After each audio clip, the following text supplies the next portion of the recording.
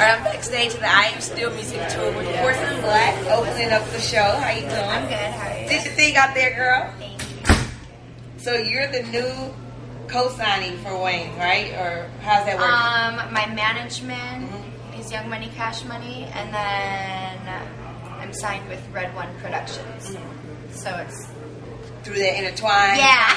I got, you got everybody backing you. Yeah. up. Good. You got a, you got a big. like, and, and RedOne actually said at the Grammys, you know, watch out for three different people this year, and your name was one of them. yeah. So we got big things coming from you. When's the album dropping? What's it called? Um, don't we're not sure on the name exactly yet, but it should be out this summer, probably like a couple months. Mhm.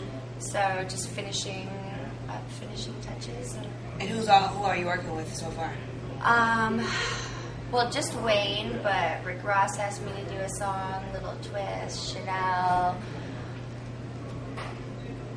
A lot of people. Well, a lot of I'm like, I know. everybody's asked, so we got like lots of songs coming, and there's lots of stuff and getting ready. But me and Rick already started on our song, so we're So you say you're working with Shanell. Now I'm, I'm all for girl power, and you know some people feel like you know the glass ceiling thing, and I've heard some people say like, okay, she's the next one, the new female for Wayne, so Nicki Minaj and Shanell better watch out, all that kind of stuff. Yeah. What do you have to say about that? Because I don't like that. I think females can all work together, and Yeah, there can be more than one female in a group. And how do you feel about that? Uh, yeah, I feel like I mean it's not really a competition. We're all together. We're all a family, and we all support each other. So it's like I don't think it's like anybody's the next thing. It's just us working as a team and working together. And Plus, your style is different. Yeah, I mean we're all different and special in our own ways. So it's not like Yeah.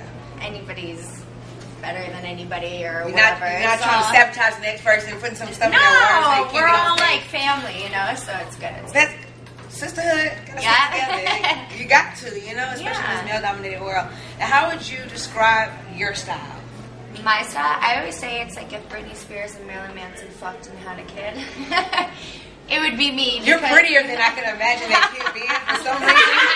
like, I don't know, that kid is coming out not kind of, you know. I Mm. don't know. Well, But their personality is if they conceived child. yeah, yeah, yeah. And the music, the songs, it's kind of industrial, Nine Inch Nails, Manson, but then it's, you know, got that Britney Spears pop dance element, and those are my two, like, idols. I love them. Like, So Manson, they- Manson and Trent Reznor. So, it's, uh, I, and I really wanted to bring those two songs together, because it's something that's never been done. So, I like that though. I, I've never, you know, Britney Spears hit me baby one more time, and we're all stars now in the dope show. That's cool. Yeah. I, I like that. That's really cool. So how can people stay in contact with you? uh, my Twitter, What it's, is uh, it's just at Porcelain Black. Okay. So, Who do you tweet back and all that? I do. I tweet back to my fans all the time. I'm I know some people. Some people are like groupie-ish with it, and but that's fine. You know, they make you popular because they. it's, always, it's always good to give uh, love back It is. to the people that give you love because, like Wayne always says, like he does the one, two, three. I ain't shit without you, Mm-hmm. and it's true. Like you're nothing without your fans, and I really. Uh, Respect my fans that I've had for a long time because I've been doing this for, for a long time. a really long time. I read about that. That you, you're from Detroit, right? Yeah, yeah, yeah. Okay, Eminem. You should do something with M.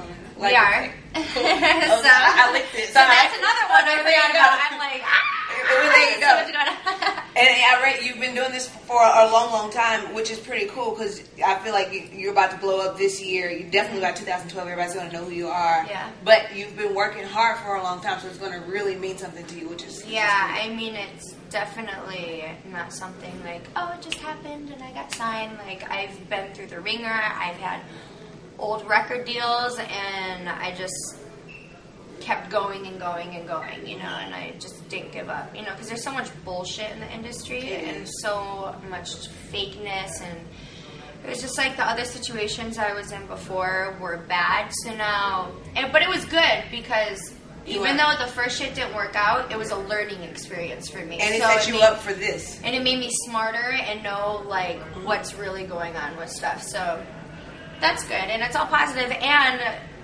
through all these years, I've written so much amazing music that I'm really proud of, from my old Porcelain and the Tramp stuff to the Porcelain Black stuff now. So, and I just like really respect my fans. I mean, I've had fans coming out to the show that are like, Porcelain and the Tramps, and I'm like, I know you're old school. I know, right? you're saying that It's changed. Black, so I put a ditty on you. It's changed. but That's cool though.